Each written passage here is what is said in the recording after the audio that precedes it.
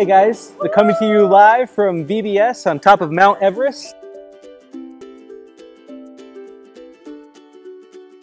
Hi, and welcome to Family Worship Center. Thank you for joining us today.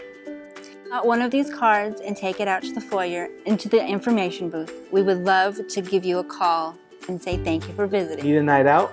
Come join us for couples night at 6 o'clock on the 26th.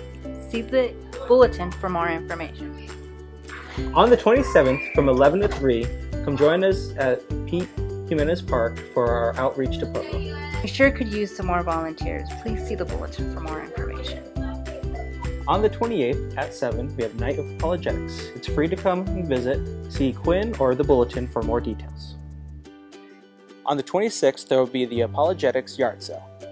If you have any items that you would like to donate, come bring them by the church on the 25th between 10 to 6. We'd love to see you there. Come out and support a great cause and ministry. Just want to say happy Father's Day to all you dads out there. Keep doing the great work. It's such a awesome challenge to be a father, especially in this day and age.